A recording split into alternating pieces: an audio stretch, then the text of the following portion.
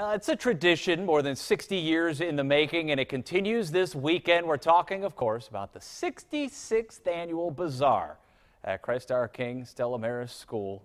Uh, Amy Hux is here, uh, and I'm just I'm going to blank Na- on your name. Natalie. Natalie. and Natalie is here. It had Andrea in there. Andrea was supposed to be here. We, we played some tricks on you. It's You all did part it. of the game. They did it, and, and we do have we have some kids over here who are going to show us. If you've ever been to the bazaar, you know what we're talking about when the kids are running around with the eggs. We're going to get to that in a second. Uh, but Natalie, let's start about uh, just tell us about the event because it's this weekend already. It is. It's like a Americana fall festival. Just, you know, we're always sitting at home going, what are we going to do with our children this weekend? You know, we got to get them out of the house. And so I have a 14 year old, 12 year old. They have a blast, and younger kids have a blast. There's just something for all ages. And we could wear them out all we day. can wear, yeah. I mean, 10 to 4, come the whole time. Yes. And it's in, you know, it's in our schoolyard, which is kind of contained. I mean, you still have to watch your children, Sure, but it's safe. right. That's advice. right, exactly. But you know, we have funnel cakes. It's like going to the fair. Funnel cakes, snow cones, um, lots of different booths from, Yes. yeah. the joyful screams of children too. Yes, Exactly. There's a water blaster booth. Oh, yeah. um, I mean, we probably have 20 booths this year. Yes. And there's a whole small world area if you have younger children, so they're not overrun by the, Right. you know, the older children and then the bigger kids too. What what are some of the booths? I mean, because you can walk out of there with an armful of prizes. There are definitely games for all ages. We have a small world set up for just the little tykes. They come in, it's uh, acclimated to little kids. They win a prize every time. There's a Halloween walk where we do I Spy. They get a little piece of candy at the end.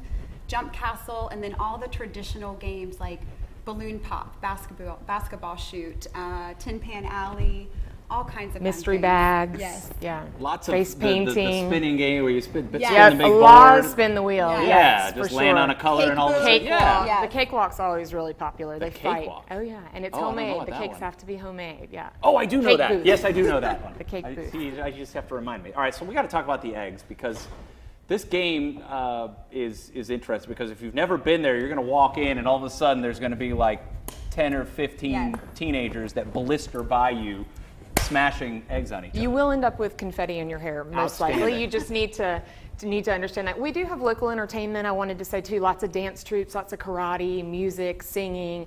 So there's a lot for the parents as well. We have crafters, local handmade crafts. Oh, yeah. So the parents can walk around while the kids are really enjoying themselves as well. And, it's here's, oh, I, we got to we got to show the people how they enjoy themselves. All right, kids, show us what this is all about, um, and go easy on each other.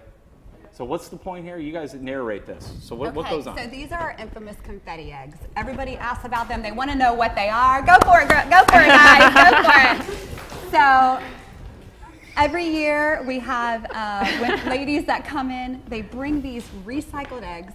They they poke a hole in a certain way, empty the egg, clean the egg, and then um, fill it with lot work. confetti. It's a lot of work. It's a lot of work. Yeah, but we have dozens and Yes. dozens and dozens, and we sell out every single year. Every single year. I think it's really important to also say this is a free, it's free admission.